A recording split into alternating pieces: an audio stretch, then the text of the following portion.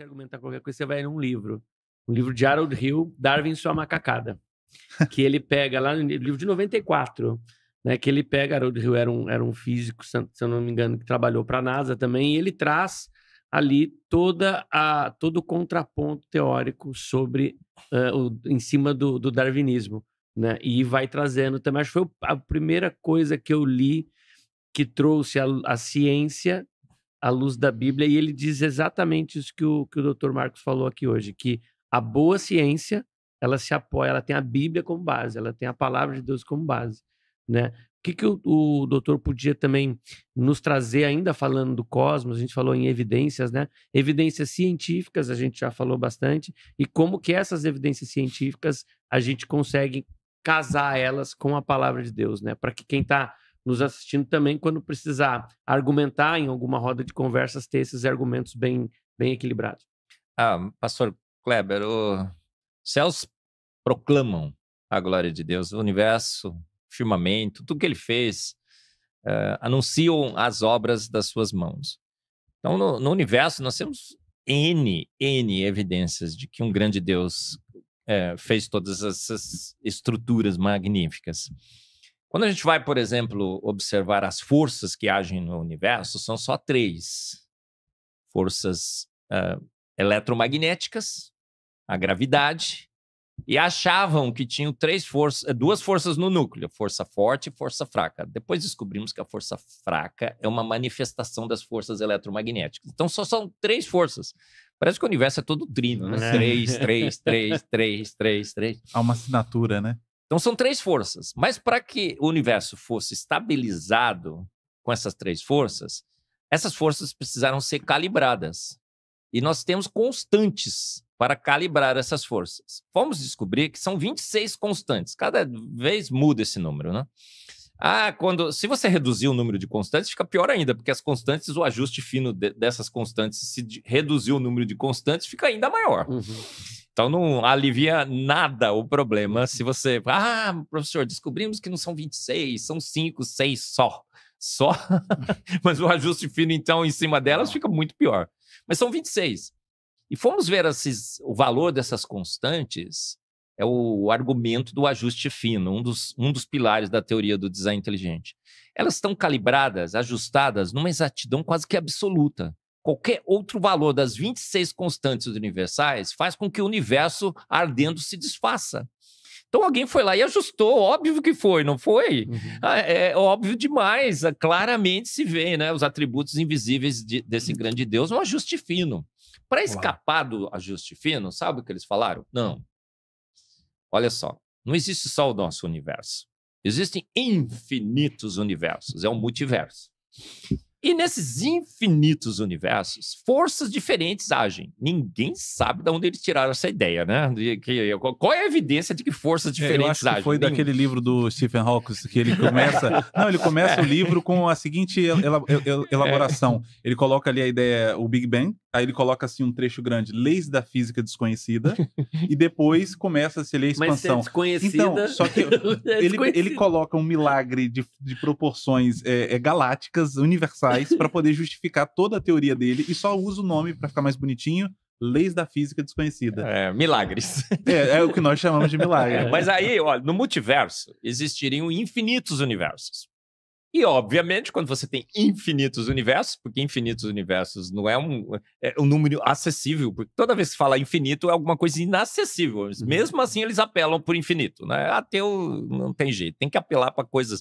A Pondé já disse isso, né? Quem não crê em Deus, crê num monte de bobagens. Parafraseando Chesterton, para mim, o maior teólogo de todos os uhum. tempos, né? Filósofo e teólogo, Chesterton. É, acredita nesses infinitos universos. E no número infinito de universos com é, leis físicas diferentes, obviamente deveria existir um universo com 26 constantes universais iguaizinhas que nós temos aqui para estabilizar o nosso universo, tá vendo? É, com um número infinito de possibilidades, todo mundo ganharia na loteria, certo? Ganhamos na loteria cósmica, mas não contavam com a nossa astúcia, não é verdade? Os criacionistas, que é gente que estuda, gente, cristão é gente que estuda, está sempre prontos a dar a razão da sua esperança. Pela fé, entendemos A gente não crê, eu não creio em Deus. Eu não creio em Deus. Pastor Miltinho tá olhando para minha cara aqui e convidei alguém pro pó de fé que não crê em Deus.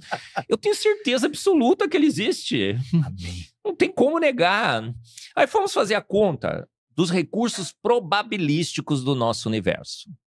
Quanto Pra de sorte saber- a gente precisa? É, se a gente realmente tem toda essa sorte sortuda Uhum. que eles disseram que esse nosso universo, em infinitos universos, calhou de ter.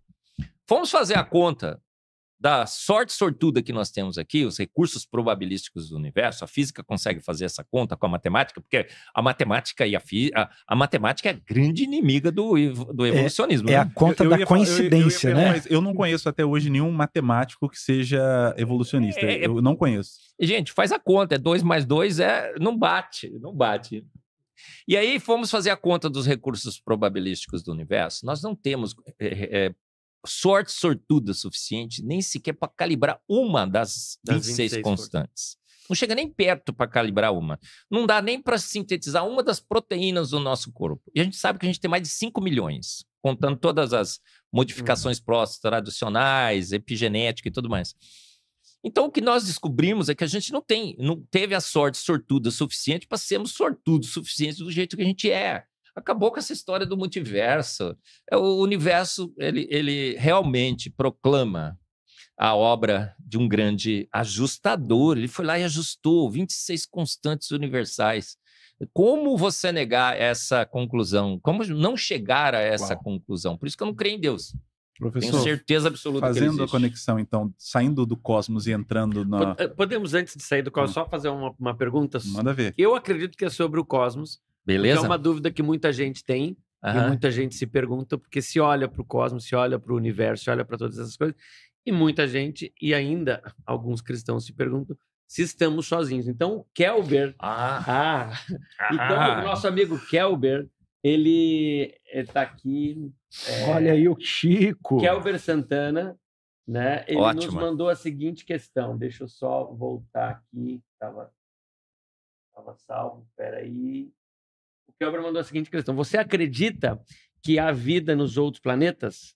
Pode falar um pouco sobre esse assunto? Um abraço a todos vocês. Um É. abraço, Kelber. O Kelber, não é uma questão de fé acreditar ou não, é uma questão de racionalidade. É só a gente é, pensar um pouco. A filosofia é a mãe da ciência. Os filósofos gregos se sentavam à mesa e resolviam muitos problemas Verdade. só pensando, só usando a racionalidade, porque fomos feitos à imagem e semelhança de um grande Deus. Então, ah, tem muitos princípios filosóficos e de lógica que regem a ciência. Ah, O, o dado pode ser X, mas se a filosofia diz que aquele X é impossível, está errado o dado. Exatamente. Não foi? Então, olha, um princípio de lógica. Se a vida surgiu na Terra por processos naturais, deveria ter surgido em vários outros planetas. Concordo? E nós deveríamos ter milhões e milhões de outras civilizações. Star Trek na vida real. É. Essas civilizações só puderam se desenvolver com os, os materiais e as forças e as leis que operam na Terra. A gente sabe disso. A gente já prospectou o universo, só tem os elementos da tabela periódica. Então, provavelmente, a vida lá surgiu com carbono. Tem outro, com água. É, Por que, que a NASA fica procurando água nos outros planetas? Porque a gente sabe que só pode ter sido água mesmo. A tecnologia lá não deve ser muito diferente. Eles devem ter usado metais, não é? Porque não tem outros elementos, né? Uhum. plásticos. Provavelmente a vida é muito parecida, né? Até os ETs são tudo parecidinho com a gente, né? Tem dois olhos, bracinho, perninha, não tem? né? A gente nem consegue imaginar uma coisa diferente. Então, suponhamos que existiriam milhões e milhões de outras civilizações. Qual o nível de tecnologia que essas civilizações deveriam ter? Vamos fazer uma distribuição gaussiana, né? Probabilidades.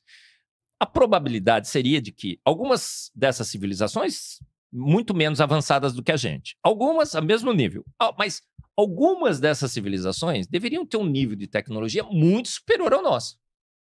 Proba- probabilidade, é lógica. E já deveriam ter chegado aqui.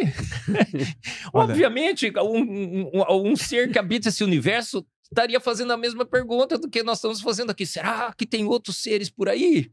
Eu acho que é o único ponto que o Sérgio acertou é esse. É, Que ele também não é, acredita, ele também não acredita. Que, É. que exista vida. Então, se. Agora, temos alguma eh, relato na história da humanidade de alguma visita extraterrestre? Tem umas, ah, umas suposições aí, uns sonhos delirantes de noites de verão, mas fato nenhum. Nunca chegaram aqui. É o paradoxo de Fermi. Sim. Quem que perguntou mesmo? Foi o Kelber, Kelber. Santana. o Kelber, o paradoxo de Fermi. Fermi um dia perguntou: olha, se tem tanto extraterrestre, cadê? Nunca vi.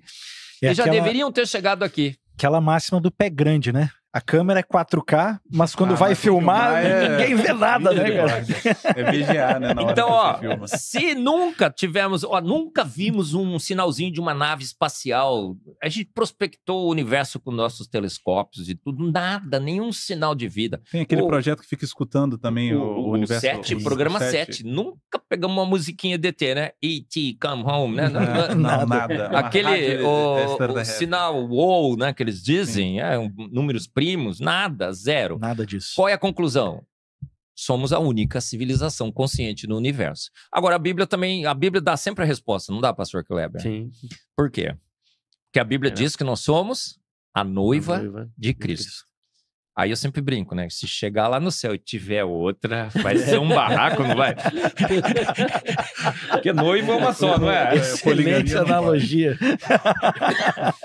Olha, tem, tem uma explicação que eu gosto muito, que um, um irmãozinho muito simples falava, ele falava assim, olha, Não esse negócio de vida mãos. fora da... Fora da não, vou- não- eu evito citar nomes às vezes, para não é, é, Ele falava assim, se existe extraterrestre? Ele falou, claro que existe. Você nunca ouviu falar em demônio, em anjo? Isso é tudo fora da Terra, isso é outra dimensão. É tudo extraterrestre. Tá que nem, tá que nem Não é- meu, meu pai, acho que em 70 e alguma coisa, já recém-convertido, tá parado numa uma parada de, de ônibus para ir para a igreja, né? naquela época, com aquela Bíblia, né? E bem crente, bem crente.